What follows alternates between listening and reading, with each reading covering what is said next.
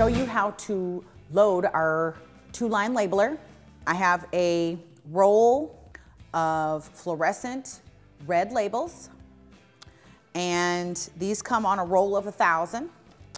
And the first thing you do when you load this gun is you're gonna open this top part, which is where the labels go on.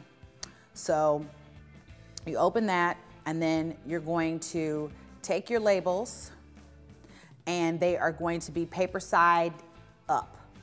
And a trick that I wanna show you is that because they're gonna be wound, sometimes they have, they, they have this curve in them. So it's easier to load if you take the curve out. So what I usually do is kind of run my hand like this or run it through my first finger like this and take the curb out. And that's just easier so that you can get those through the gun. So we're gonna take our labels, we're gonna put those right up here and then take your first finger there and your thumb and hold it. Okay, so the next step is going to be uh, to open up this bottom piece so that the labels will come through the bottom. And there is a lever here and you just press that and then there's gonna be two flaps that come open. This long one here and then there's a shorter one. And then those labels are gonna come down into the gun, straight down. And then you're going to pull them down. And I would say pull them down about three to four inches. And then this short flap, you wanna close that. And also make sure you close your top piece where your labels go on. And then we're gonna flip this so that I can show you what comes next here. Okay, now that you've fed the labels from the top down into the bottom of the gun, we've closed this smaller door here.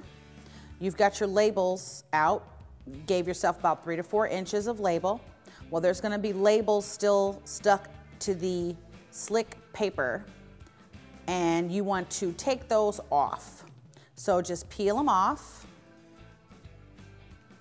And this will just, you know, make it a little easier for the next few steps that you have. So just take the time to peel them off. Okay, now, there are little holes or indentations here on your labels.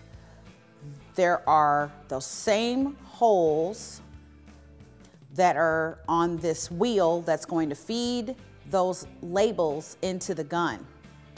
And so you want to line these up with this as best as you can. And it should just lay right on top of there.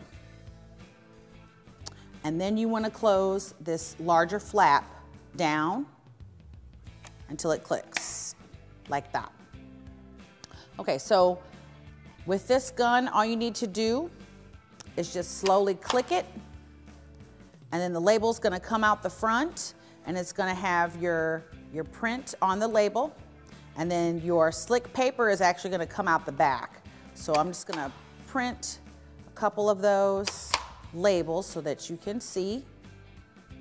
And then the paper is coming out the back, as you can see. And just slowly click, and there's your labels. You have two rows of numbers. And your slick paper is coming out the back. If you have any additional questions, you can refer to our website at storesupply.com.